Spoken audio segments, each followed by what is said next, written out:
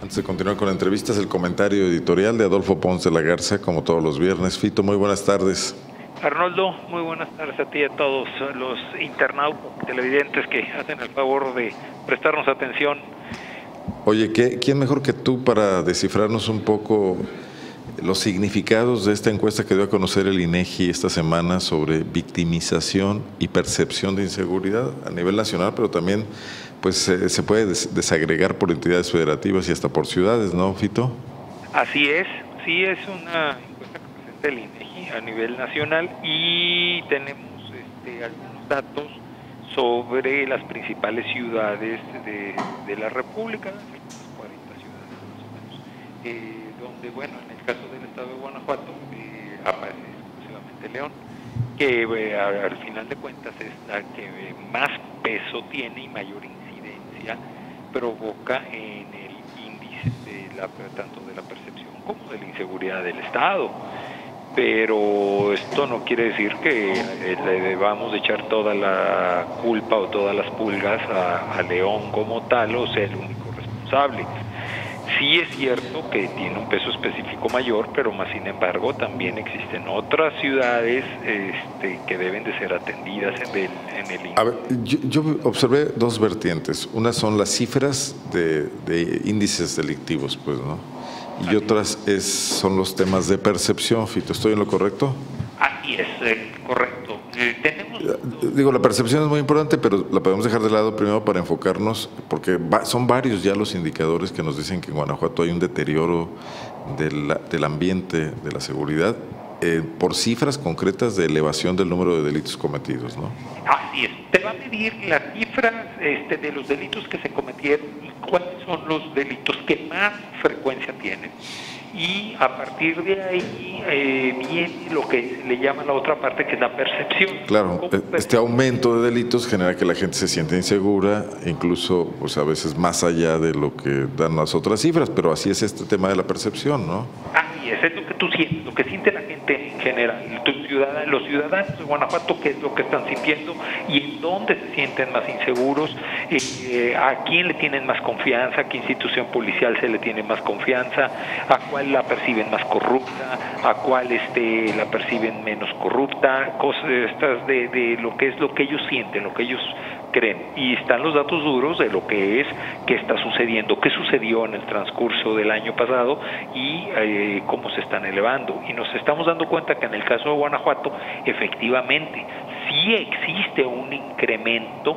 en la cuestión de la tasa eh, de incidencia delictiva. O sea, y el incremento, a pesar de que a nivel nacional se mantiene prácticamente igual, porque traía a 41.5 y pasó a 41.6, eh, en el caso de Guanajuato, esa tasa de incidencia delictiva eh, por cada 100.000 habitantes pasa del 34.1% a un 40.73%, o sea, suben 6.63%. ¿Esto en qué periodo de tiempo? en un año, de un año a otro. ¿sí?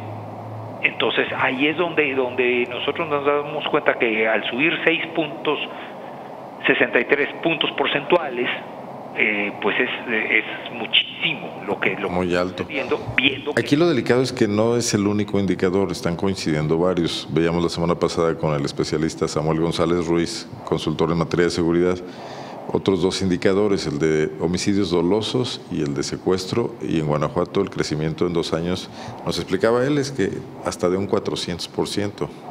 Así, correcto. ¿Y, qué está sucediendo? Bueno, nos damos cuenta que, este, por ejemplo, en la población, esto se mide en la población mayor a los 18 años, ¿no? qué porcentaje de la población se ha sido este mayor de 18 años los guanajuatenses que han sufrido eh, un delito ha sido dentro del estado de Guanajuato. Eso es muy importante porque en el caso de Guanajuato tú dices, bueno, los que viven, eh, los penjamenses o los que viven ahí en, este, en esa área pegada a lo que es Michoacán y dices, bueno, pues es que me crucé a la piedad y me robaron, pero eh, usted sufre eh, un delito dentro del estado de Guanajuato, pues nos estamos dando cuenta que sí es este notorio porque el 97% le sucedió dentro del estado de Guanajuato de los delitos. Entonces, sí se están incrementando los delitos en el Estado. Esa es una de las cosas. Estamos viviendo... Y justo, eh, Fito, en el periodo de tiempo en el que ya ha operado un programa que, bueno, pues, generó polémica, generó dudas, como es programa Escudo. Sí. ¿No? Son, dos, son estos dos años, 2014 y 2015. Exacto. Aquí vemos otro fenómeno interesante también que debemos de considerar, ¿no? A pesar de que este a nivel nacional el promedio ha venido manteniéndose constante o incluso disminuyendo con algunas décimas, pero disminuyendo, donde la víctima dice cuántos delincuentes lo atacaron, o sea, yo a mí me robaron y yo te digo cuántos fueron, señor, uno, dos o tres, o más de tres, sí, en el Estado se ha incrementado notablemente porque pasó de un 16% a un 19% el incremento de tres o más delincuentes. Eh, que es la, esa es la parte que más eh, mayor incremento tuvo. Entonces, ¿qué significa? Que estamos teniendo delincuencia eh, o pandilleril o delincuencia organizada. No sabemos hasta dónde podemos decir que es una narcodelincuencia o, o delincuencia organizada como la conocemos para la venta de narcóticos o de secuestros. O robo de combustible o robo de combustible porque nosotros ese, en ese momento no nos interesa. Si a tú como víctima tuviste dos o tres o más, ¿no? O cuatro o cinco. Entonces estamos viendo que, que en el rubro que más se está incrementando es que a, los que están robando, asaltando, que es el, el más frecuente, pues son tres o más delincuentes. Ya vemos más, llamémosles agrupaciones delictivas, ¿no? Y eso también, eh, pues hay que considerarlo eh, importante de analizar, ¿no? Comparativamente con otras entidades, creo que creo que empeoramos. Empeoramos, sí.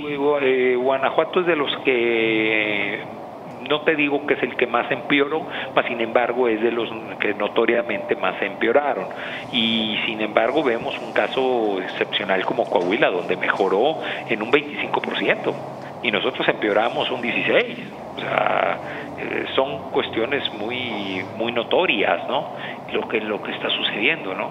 Y este y Ahora, Vito, sin reacción de la autoridad, se conoce esto y nadie dice esta boca es mía. Yo no, no veo cómo puedan decir eh, esta boca es mi ama, sin embargo, digo, reaccionan tarde, no han reaccionado, no hemos visto ninguna declaración al respecto, ya traemos cifras eh, manejándolas desde, desde ayer realmente. Este, no ha habido quien más que el doctor Villasana diciendo ahí tibiamente que, bueno, sí, pero, pero no en todo nos ha ido tan mal. Ha habido delitos en los que en los que sí hemos bajado, ¿no? Este, en el caso específico de León, pero no hemos visto a nivel estatal eh, una reacción o que digan, oye, ¿qué vamos a hacer? o qué está sucediendo, porque el escenario se está descomponiendo y se está descomponiendo de forma muy grave. Decía Samuel González Ruiz, eh, no hay una política pública que atienda esto. Y esto es muy delicado porque este deslizamiento hacia cifras más altas, más preocupantes, no tiene ningún contrapeso, nadie lo está contrarrestando. Nadie, nadie lo está contrarrestando y algo muy importante, que cada año el costo del delito se está incrementando de forma notoria no nada más lo que gasta la, la, población en medidas de protección contra la delincuencia, como son chapas de seguridad, perros, de guardianes, rejas en las casas, cosas de ese tipo, ¿no? Eh, en, Guanajuato se incrementó en 471 millones de pesos y los gastos de protección. Eso es lo que de un año a otro hubo de incremento nada más.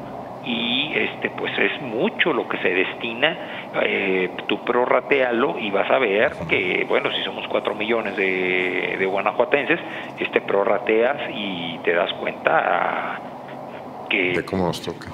Es, es, es, onerosa la, lo que está sucediendo. Y el costo del delito en, en Guanajuato este año está en los 8.700 millones de pesos.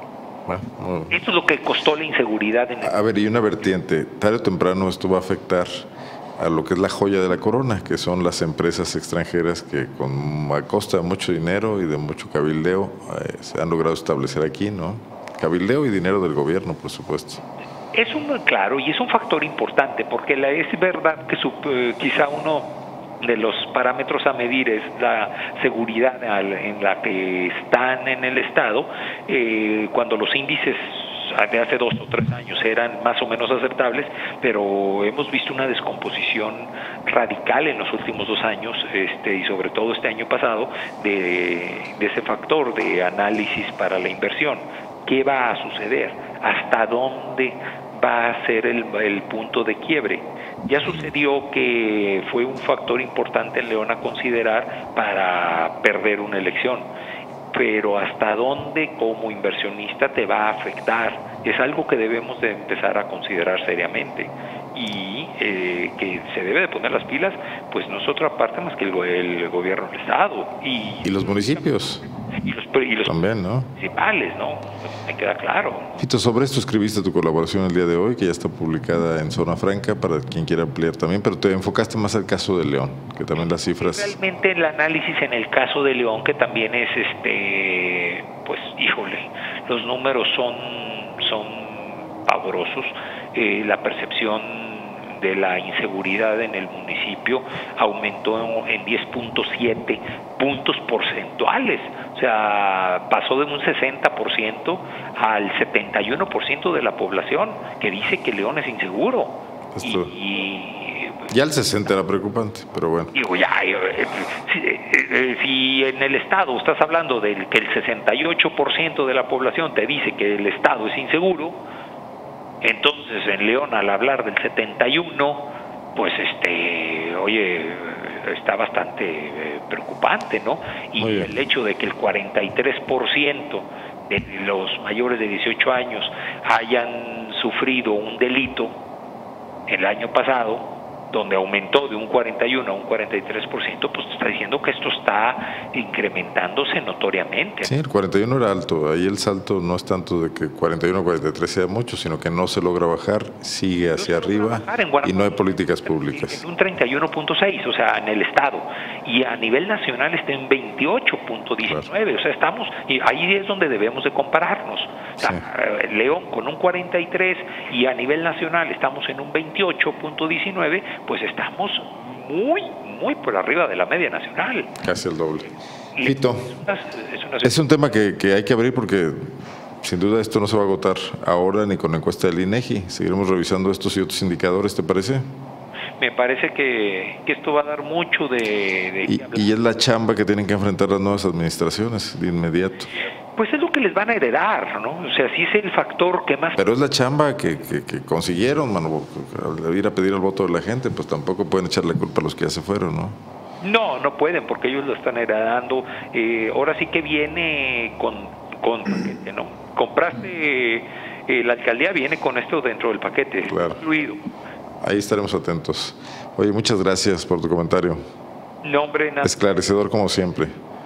Buenas tardes a todos. Buenas tardes, Fito. Gracias. Adolfo Ponce de la Garza, usted puede leer su artículo sobre este mismo tema en la página de Zona Franca, ahí está en estos momentos. Bueno, vamos a dar paso ya sin